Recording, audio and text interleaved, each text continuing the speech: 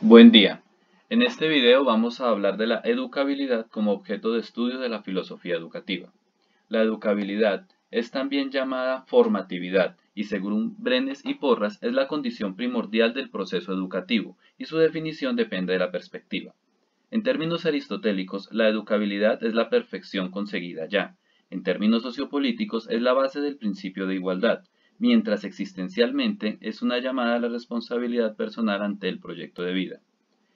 En suma, la educabilidad es la posibilidad de transformación que tiene el ser humano. Se dice que la educabilidad es una posibilidad porque significa la viabilidad del sistema educativo, y además es una categoría humana en la que intervienen fundamentalmente dos individuos, un influenciador o educador y uno influenciable o educando.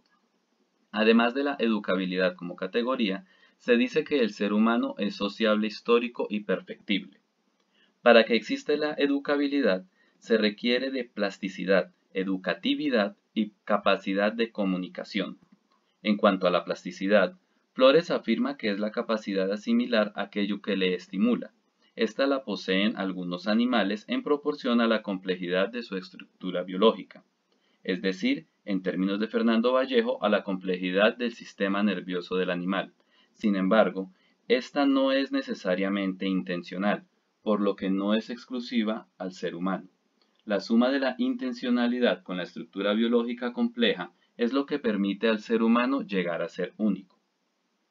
En cuanto al requerimiento de educatividad, se entiende como el grado de preparación que tiene el influenciado para poder recibir la influencia, lo que pone de manifiesto la necesidad de una capacidad de comunicación entendida desde el saber como conocimiento material y desde las relaciones personales como interacción social. Aún con estos requerimientos, la educabilidad tiene límites y limitaciones. Los límites son tratados desde diferentes perspectivas, entre las que resaltan el pesimismo pedagógico, el optimismo pedagógico y el optimismo moderado. Dentro de los exponentes del pesimismo pedagógico encontramos a Lombroso y a Schopenhauer. Estos afirman que el ser humano nace con carácter y posibilidad de evolución personal predeterminados, por lo que la posibilidad de educabilidad es nula. Una prueba de ello es que los saberes no se incorporan a la especie, pues aquello que aprendió el ser humano no es transmitido a su descendencia. En el extremo opuesto tenemos al optimismo pedagógico. Este afirma que el ser humano es formado fundamentalmente por el ambiente. Por tanto, la posibilidad de educabilidad es total.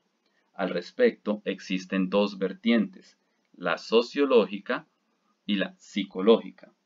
La primera, cuyo principal exponente es Owen, afirma que el ser humano es moldeado por la sociedad, mientras la segunda, que tiene a Watson como máximo representante, asegura que el ser humano es moldeado por los estímulos psicológicos a los que sea sometido. Independientemente de cuál corriente se analice, ambas concuerdan que el fracaso educacional siempre se debe a los procedimientos o a los educadores.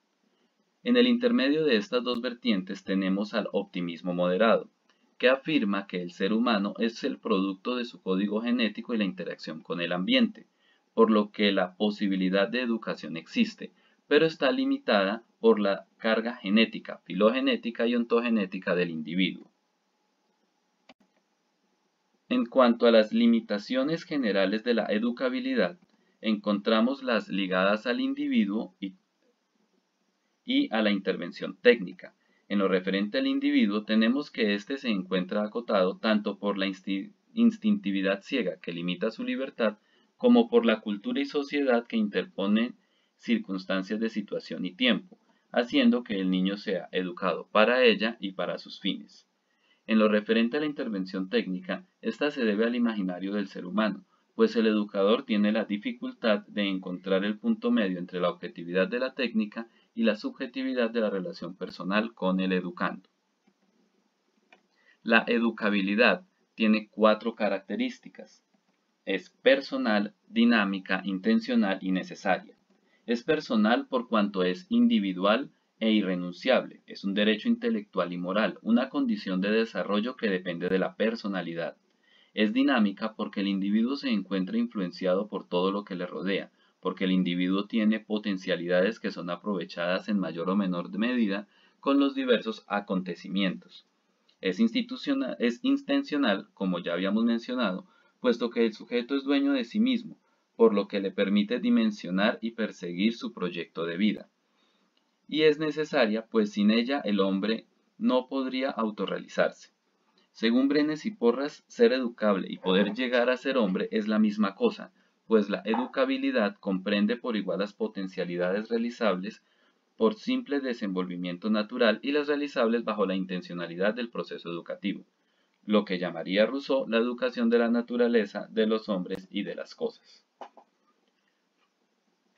Finalmente, de la educabilidad surgen las teorías espiritualistas y personalistas. En este contexto, la espiritualidad es presentada desde la filosofía agustiniana, avanzando antropológicamente de la dualidad alma-cuerpo a una unidad entre el cuerpo y el espíritu, según la cual el espíritu se somatiza y el cuerpo se espiritualiza. Como es de esperar, esta corriente reafirma al hombre sobre las demás especies. En palabras de mi homónimo Flores, Solo el hombre es educable porque solo el hombre es portador del espíritu y de las características a él asignados, lo que inevitablemente recuerda un pensamiento de Schopenhauer. A excepción del hombre, ningún ser se maravilla de su existencia. En esta línea argumental, la espiritualidad del hombre es necesaria para hablar de su educabilidad, la cual es personal, relacional y activa.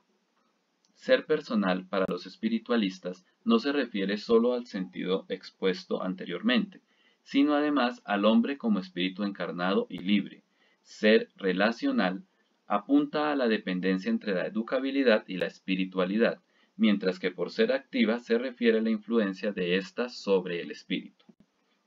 Finalmente, las teorías personalistas afirman que la educabilidad es una de las posibilidades que tiene el hombre como persona, que la educación debe ser orientada hacia la totalidad del ser humano. Para Montovani, la educación se convierte, la educación convierte en persona al ser humano. Sin embargo, ello implicaría que el hombre no educado dejaría de ser hombre, lo que anularía cualquier planteamiento correcto de educabilidad. Como conclusión personal, he de resaltar la diferencia entre educabilidad y plasticidad en términos de la intencionalidad junto con su exclusividad hacia el hombre, pues el común de la población le atribuye la educabilidad a algunos animales. También me ha llamado la atención el optimismo moderado, pues responde algunas preguntas realizadas con amigos al compás de unos tragos.